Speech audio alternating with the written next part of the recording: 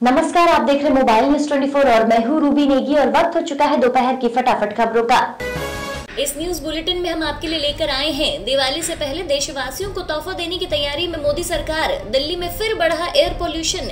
UP में रहने वालों के लिए आई खुशखबरी। देश में तेज़ी से ठीक हो रहे हैं कोरोना के मरीज़। इसके अलावा और भी कई काम की खबरें हम आपके लिए लेकर आए हैं। इसलिए इस न्यूज़ बुलेटिन को अंत तक ज़रूर देखिए।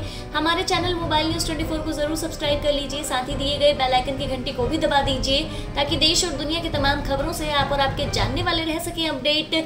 तो चलिए शुरू करते हैं। कोरोना वैक्सीन पर बड़ी खुशखबरी कोविडशील्ड के अंतिम चरण के ट्रायल की बड़ी चुनौती दूर।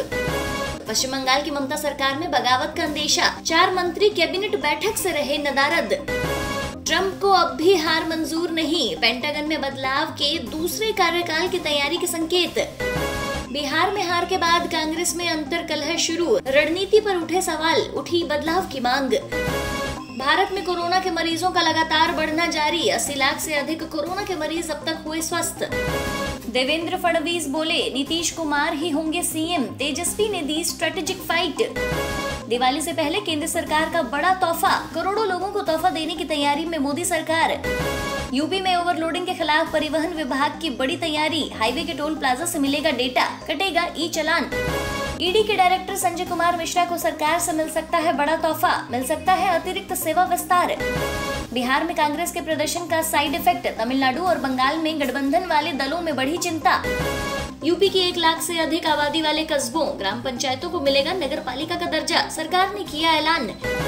पीएम मोदी आज जेएनयू में करेंगे स्वामी विवेकानंद की प्रतिमा का अनावरण, यूनिवर्सिटी में उत्साह का माहौल। स्कॉर्पियन क्लास की पांचवी पनडुब्बी हुई नौसेना में शामिल। अरब सागर में और ज़्यादा बड़ी नौसेना की ताकत।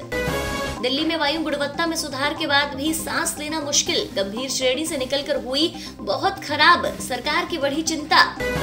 कांग्रेस के पूर्व अध्यक्ष राहुल गांधी ने पीएम मोदी को घेरा। कहा, प्रधानमंत्री मोदी के कदमों के कारण मंदी में चला गया देश। चंडीगढ़ में पटाखों की बिक्री और इस्तेमाल पर अब भी संशय। गेंद फिर प्रशासन के पाले में। भाजपा नेता उमा भारती ने की तेजस्वी की तारीफ़। कहा वह अच्छा लड़का है और बड़े होने के बाद नेतृत्व कर सकता है। बिहार में नीतीश सरकार के गठन की कवायद तेज। विधायकों के साथ मांझी ने सौंपा समर्थन। गुज्जर आरक्षण आंदोलन के प्रमुख कर्नल बेंसला ने की सीएम अशोक गहलोत से मुलाकात। मांगों पर बनी सहमति। तो ये थी अब तक की फटाफट खबरें और ऐसी ही खबरों से अपडेट रहने के लिए आप हमारे चैनल को अभी सब्सक्राइब कर लीजिए और साथ ही दिए गई नोटिफिकेशन बेल को भी दबा दीजिए ताकि आप भी रह सके देश और दुनिया की ऐसी ही तमाम खबरों से अपडेट।